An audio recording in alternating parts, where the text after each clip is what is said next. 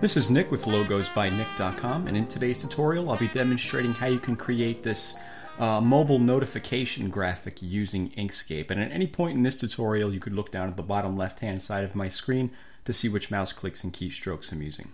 So I'll minimize this and I'll get started here in Inkscape. And by the way, if you'd like to know how you can make Inkscape appear darkened with these custom icons here, a link to that in, uh, information will be in the description of the video. So let's get started. The first thing we want to do is make sure the view is set to custom. And then we're going to zoom in at one to one. And then we'll open up our align and distribute menu. And then we'll open up the fill and stroke menu as well. And up here in this toolbar, you want to make sure you have this, this uh, box turned off that says effect. This box to the very far left, I currently have it turned on. Let's just click on that to make sure it's turned off for the duration of this tutorial. So the first thing we're going to do is create the actual shape of the phone here. We're going to create the actual phone and we're going to start out with the rectangle. So let's grab the squares and rectangles tool and click and drag on the canvas to create a rectangle that's about the, uh, the width and height of a phone. Maybe like that, that's pretty good. And then we want to go and give this thing rounded corners. So just grab that little top node up there and pull that down to give that rounded corners. And we're going to give this an outline like you see here, we're to make it white and give it like a, a, dark blue outline. So we'll make it white. We'll come down here to the color picker. We'll find a shade of blue we want to use as the outline. And once you find the shade you want to use, just hold shift on the keyboard and click on the color. And that'll define it as the outline color. And then we'll come over to the stroke style uh, tab here. And we just want to give this a size. Uh, I'm going to go with 6. Yeah, I'll use uh, 6. That looks pretty good. And whatever whatever size you use, try to remember that because that's the size we're going to use for every other shape that we create for this graphic. So uh, I, I use 6 here. What I'm going to do now is I'm going to go to the select tool and I'm going to duplicate this object by going to edit, duplicate, and uh, I'll go back to the squares and rectangles tool and I'm going to click this button up here to make the corners sharp. And let's go back to the select tool. I'm going to take this top arrow and bring this down to about here. Take this bottom arrow and bring that up to about there. And as you can see, we're starting to take the shape of the phone here with this square being the uh, the uh, screen of the phone. So the next step is to put a little uh, circle and speaker slot up there. So uh, just grab the circles and ellipses tool, hold Control and Shift and click and drag to create a little circle like that.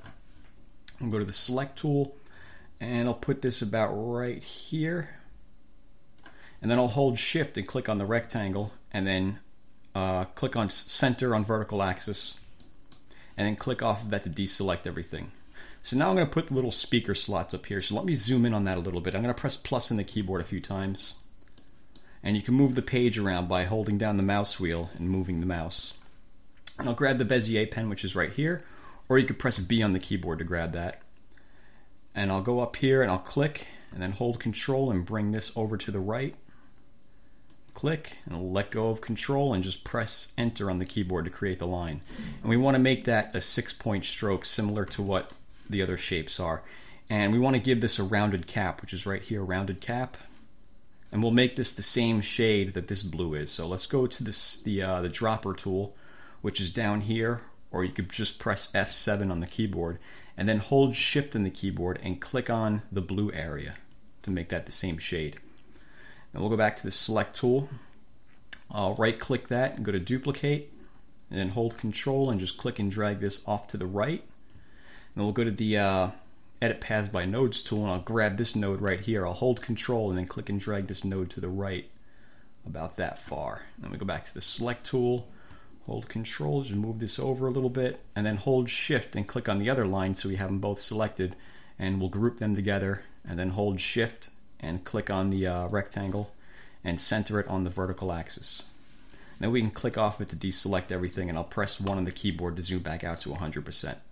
So we have our phone. The next thing we want to create is the, uh, the fingers holding the phone right there. So um, to do that, let's come over here off to the side. We'll grab this uh, squares and rectangles tool and just click and drag to create a big rectangle like that. And I'm going to take this top node up here and I'm going to bring this all the way to the left. If it doesn't let you do that, if it starts you out with sharp corners like this, take this node down here, bring that down a little bit, and then this other node will appear. Then you can take this one and bring that all the way over like that.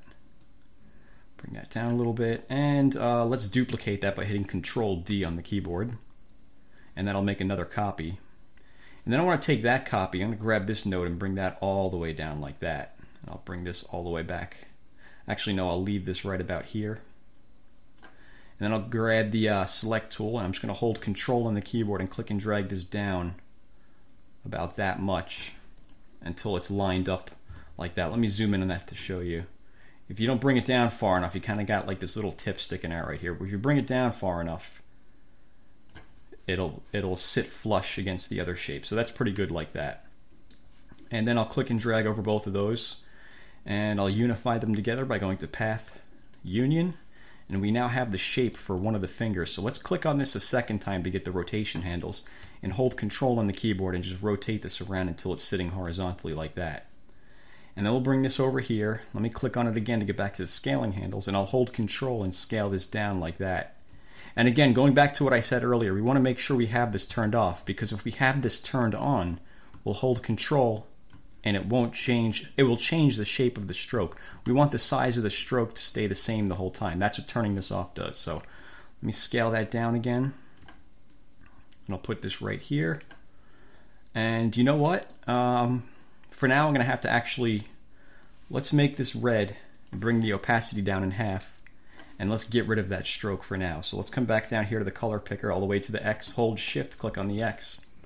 And then I'm going to duplicate this graphic right here, this little red shape. I'm going to hit control D, then hold control and move it down to here, and then hold shift and click on the other red shape and click on the button that says uh, align top edges of objects to the bottom edge of the anchor.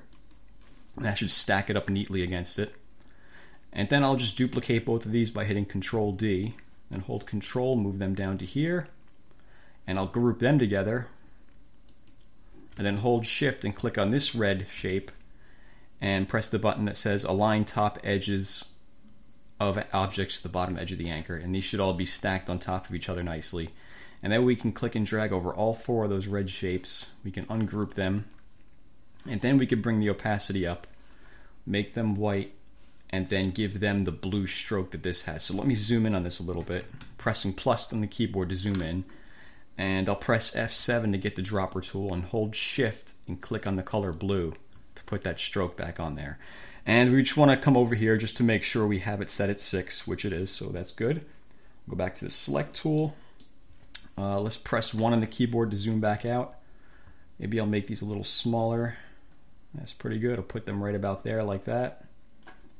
And what I'm going to do now is I'm going to duplicate these four objects. I'm going to hit Control D and I'm going to unify them together by going to Path, Union. And what I'm doing now is I'm creating kind of like, uh, I guess you can call them like the fingernails on the edge of each finger right there. So once we've done that, let's hold Control and move this off to the left a little bit. And then let's grab the uh, squares and rectangles tool and we're going to draw a shape we're going to draw a rectangle going through the center of each tip of the finger. So uh, let's make the corner sharp there. Go back to the select tool. And for this, we're going to want to get rid of that stroke. So we'll hold shift and click on the X. And again, we'll make this red, bring the opacity down in half. Go back to the select tool. And I'm going to want to zoom in on this while doing this. So press plus in the keyboard a couple of times.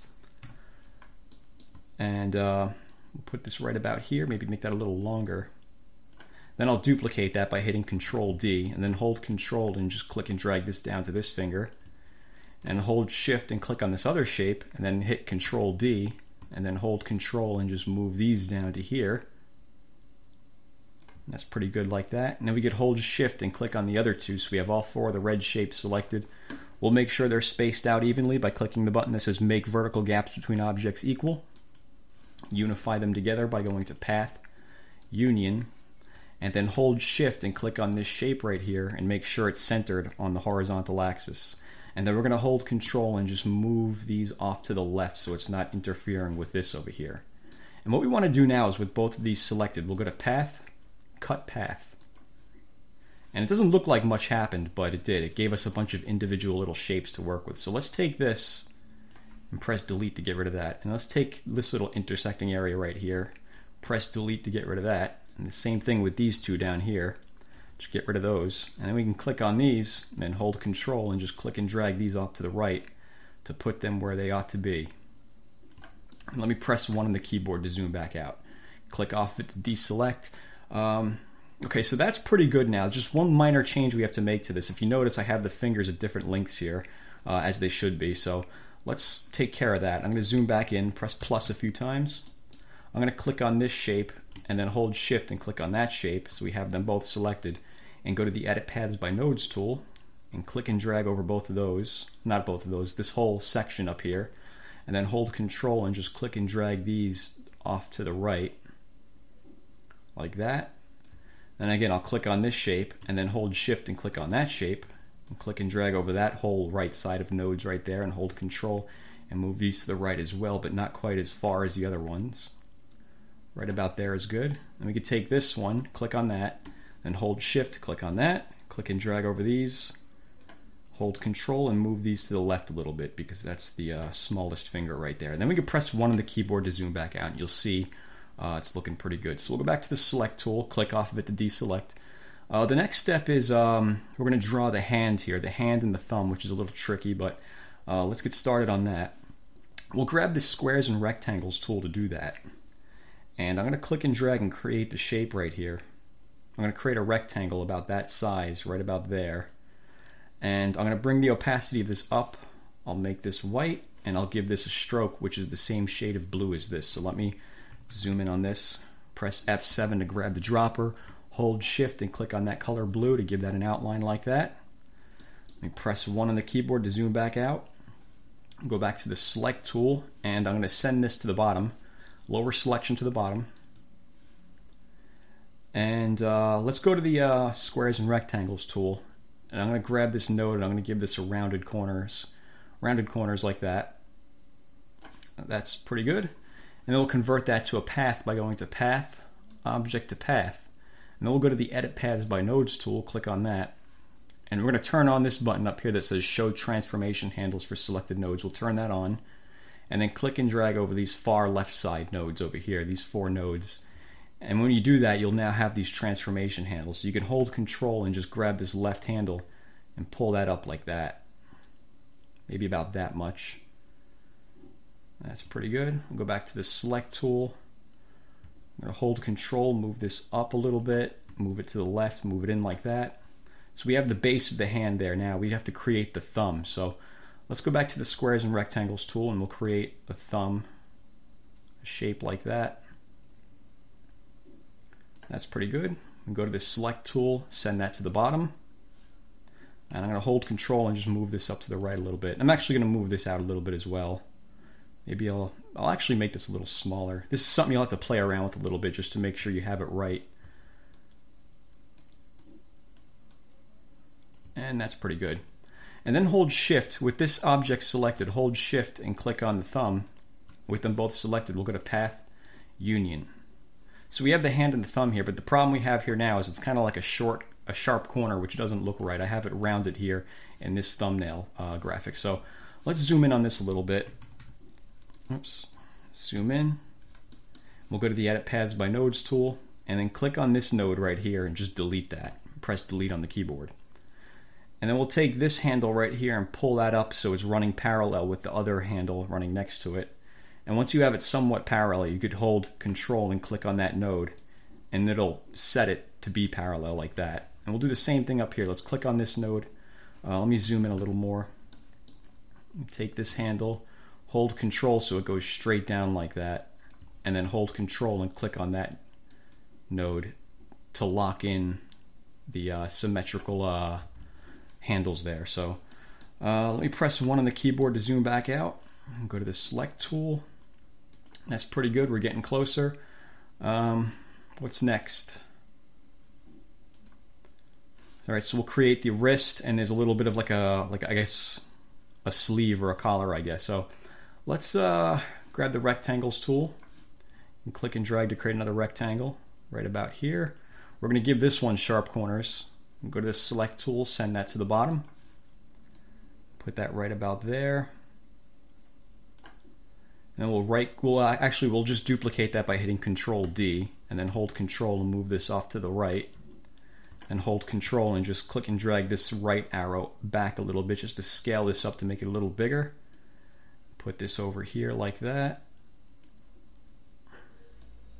All right, it's looking pretty good. So we'll take this object up here, the speaker, and we'll just use that as the line that I put here. So let's uh, hit Control D on the keyboard to duplicate that and put that over here. Oops, forgot to duplicate that. There we go. And then we'll rotate this 90 degrees counterclockwise with this button up here. And put this right about right up in the corner there. And then click on that, hold control, and just grab that arrow and scale it up a little bit. And then we could hold control and click on the uh, rectangle beneath it and make sure it's centered on the horizontal axis and then click off it to deselect. Alright, so what do we have next? The next step, we're going to create these little lines here on the side, which uh, shouldn't be too difficult. Let's take this line right here, hit Control D to duplicate that again, and hold Control and just scale this up like that. And let's ungroup that now. Click off it to deselect and hold control and just move this in a little bit to the left. And then hold shift and click on that and hit control D on the keyboard to duplicate that and put this down here. Click off of it, deselect, take this one, hit control D to duplicate it, and then hold control and move this to the right. And then I'll hit, um, I'll go to the uh, edit paths by nodes tool and grab this node and hold control and just move that in about that much. And same thing with this, this one over here. Let's click on that one, hold control, move that node in a little bit like that. We'll go back to the select tool. Let's click and drag over those three lines and group them together. And then click and drag over those two lines and group them together. And just put this over here. And we'll duplicate this by hitting Control D. And we'll flip that horizontally and hold Control and bring this down to about here. Now we can click and drag over those three sets of lines and we can just make sure they're spaced out evenly by hit, uh, pressing make horizontal gaps between objects equal and we will center them on the vertical axis and then hit um, the group key, the group button. Group selected objects. I'll just put this down there like that. Let me see. Uh, maybe I'll make these, um, maybe I'll bring them in a little bit like that. That's pretty good. Then I'll hit Control D to duplicate that again and hold Control and just bring this off to the right over here. And that's looking pretty good. The final step now is to create our little notification icon in there, which should be pretty easy. We'll just go to the um, squares and rectangles tool, hold Control and Shift and click and drag to create a perfectly symmetrical square like that. Go to the select tool. Um, we'll make this red. We'll get rid of the outline by holding Shift and clicking on the X. And we'll go to the, um, the uh, we'll go back to the squares and rectangles tool and grab this node to give this rounded corners like that. And we'll go back to the select tool and we'll duplicate this by hitting Control D and then bring this over here. Click on it a second time to get the rotation handles and hold Control and rotate it around until the corners are going vertically and horizontally like that. Let me go ahead and put this on top of the other rectangle. Let's hold Control and scale that down. Put this right about there. Maybe I'll bring in the width of this a little bit, like that. That's pretty good. And then hold Shift and click on the other rectangle and just make sure it's centered on the vertical axis. Click off it to deselect. And now we can just create some text there. I'm just going to grab the text tool and I'm going to write a number 6. We'll go to the text editor. The font I'll use for this is Lato. Click Apply. Close out of that. Go back to the Select tool hold shift and click on this red uh, rectangle, center it on the vertical and horizontal axis. Click off of it to deselect and then click on just the number and turn that white. Maybe make that a little bigger. And let me see if uh, I'm forgetting anything. Did I cover everything? Yeah, it looks like I covered everything. So that's that's pretty much it. That's how you can create this object using Inkscape. And by the way, if you'd like to make this a little smaller, you could just uh, click and drag over all of it. If you want to make the lines thicker, I mean, you could hold Control and Shift and scale it down, and it'll make all of the lines a little thicker because we're keeping it at a, at, at a stroke size of 6. Maybe a little more. And once you get it down to a thickness you like, you can go ahead and turn this back on. And then you can be able to scale it down and up without any change in the of the uh, in the proportions of the graphic. So that's how you can create that graphic using Inkscape. If you have any questions, let me know. And as always, thank you for watching.